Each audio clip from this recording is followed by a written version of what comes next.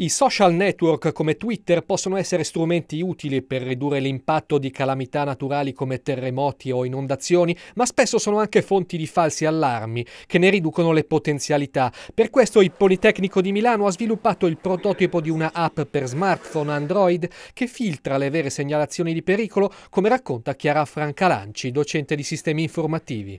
Quello che noi facciamo è cercare con tante parole chiave e tanti hashtag allo stesso tempo e poi filtriamo l'informazione che non è, che non è rilevante, rumore essenzialmente, su Twitter ce n'è davvero tanta. Il vantaggio di questa piattaforma collaborativa battezzata Torcia e basata sulla geolocalizzazione dell'utente è però soprattutto quella di essere avvisati in caso di reale necessità, come sottolinea Claudio Mangone della società informatica Beta 80 che ha sviluppato il prototipo.